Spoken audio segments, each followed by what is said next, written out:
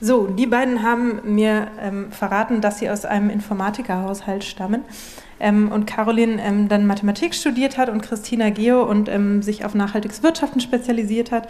Ähm, und die beiden haben zusammen die Initiative Suno mitgegründet. Ähm, und dort gucken sie, wie man Technologien eigentlich nutzen kann, um solidarische Landwirtschaft zu stärken und weiter auszubauen. Schön, dass Sie da seid.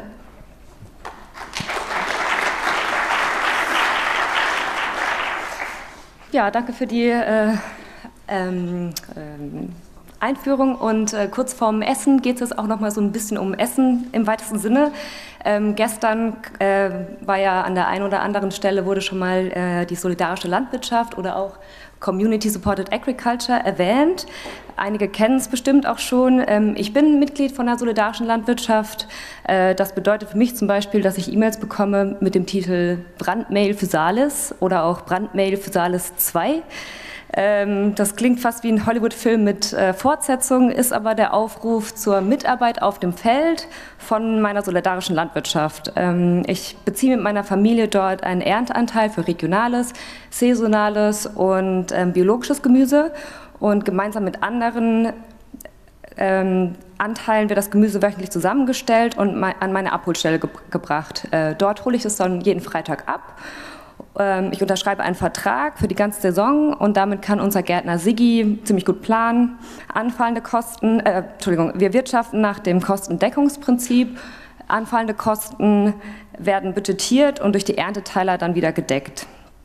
Allgemeiner gesagt, bedeutet äh, solidarische Landwirtschaft äh, eine direkte Gemeinschaft von Konsumentinnen und äh, Produzentinnen landwirtschaftlicher Produkte, wobei Risiko, Verantwortung und Ertrag durch langfristig bindende Verträge geteilt werden.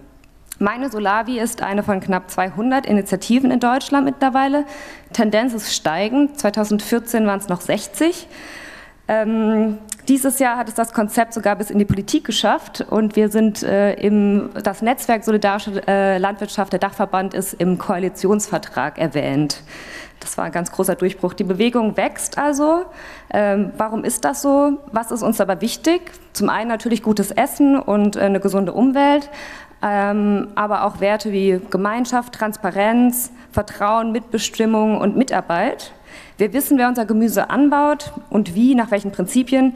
Wir haben Mitspracherecht, zum Beispiel welches Gemüse angebaut werden soll und können eben aktiv auch äh, mitgestalten auf dem Feld und in der Gemeinschaft. Für uns ist das die Zukunft, der Landwirtschaft zumindest, und wir wollen äh, mitgestalten. Ähm, wie können wir nun den Wandel in der Ernährungswirtschaft mit dem Einsatz digitaler Technologien unterstützen?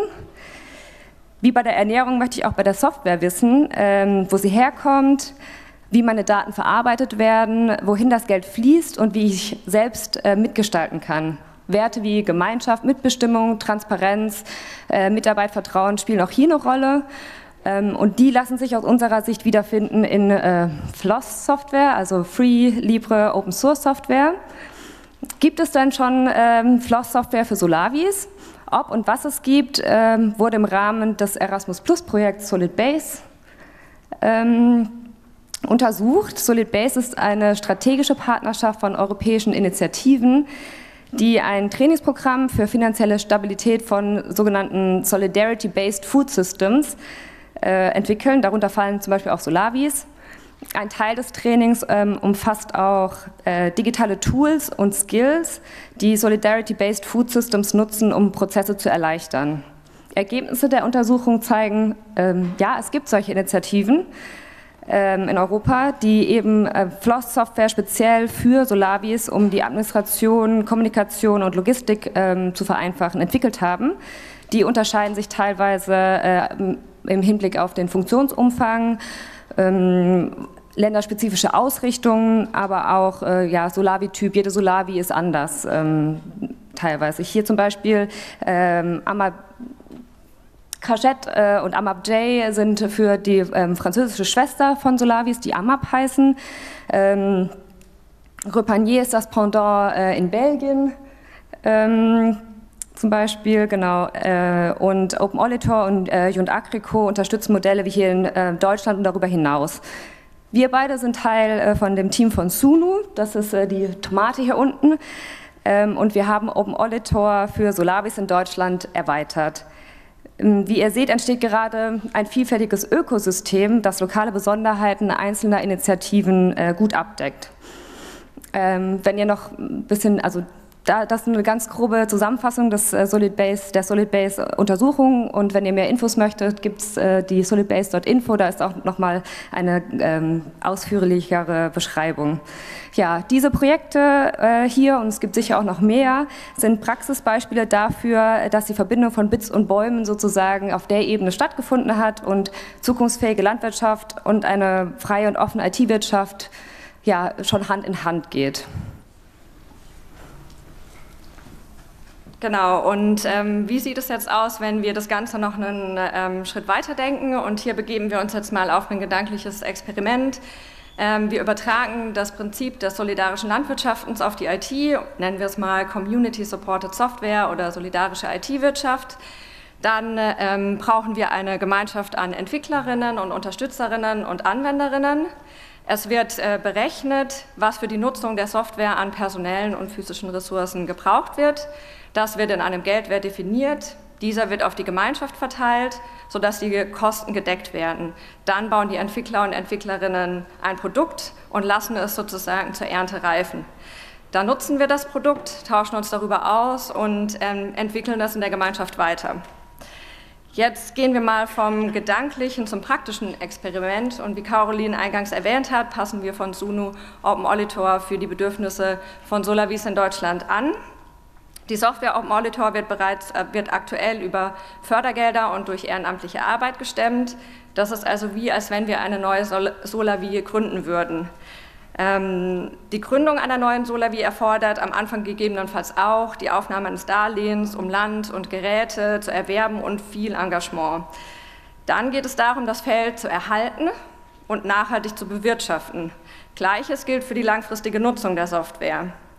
Und dafür bauen wir jetzt eine Gemeinschaft von Entwicklerinnen auf der einen Seite und Anwenderinnen auf der anderen Seite auf. Die einen kümmern sich um den Code und dessen Instandhaltung und Weiterentwicklung. Das ist äh, bei Open Auditor der Verein. Sie bestellen also sozusagen das Feld. Die anderen schließen sich in einer oder mehreren Hosting-Gemeinschaften zusammen, mehrere Solavis, die sich eben gemeinsam das Hosting teilen, also die Ernte verarbeiten. Und an dem Punkt befinden wir uns gerade. Ja, und was sind die Herausforderungen, beziehungsweise ein paar davon? Zum einen natürlich die Übertragbarkeit des Prinzips solidarische Landwirtschaft auf die IT. Es gibt ja in dem Sinne keine Saison und naja, Software ist auch nicht Gemüse. Ähm, eine weitere Herausforderung ist auch die optimale Einbindung der ganzen Akteure. Ein riesengroßer Mehrwert wäre natürlich, wenn der Landwirt oder die Gärtnerin direkt auf dem Feld schon eingeben kann, was geerntet wurde und es ins System einträgt und ich dann am äh, Donnerstag schon weiß, was ich am Freitag ähm, für Gemüse abholen kann. Genau, und Solavis arbeiten äh, gemeinschaftlich und die Kommunikations- und ähm, Abstimmungsprozesse sind folglich sehr intensiv. Solavis können diese komplexen Organisationssoftware, äh, kann diese komplexe Organisationsstruktur abbilden, aber Software führt nicht zu einer Vereinfachung. Erst äh, die Vereinfachung der Organisationsstruktur erlaubt es auch, dass die administrativen Aufgaben reduziert werden können. Genau, ja, danke für eure Aufmerksamkeit und die Frage ans Publikum, ähm, experimentiert ihr vielleicht auch? Habt ihr Tipps oder Anregungen und äh, im Sinne der Konferenz, wir freuen uns auf den Austausch und darauf, das System ein bisschen zu stören. Vielen Dank an ähm, Caroline und Christina.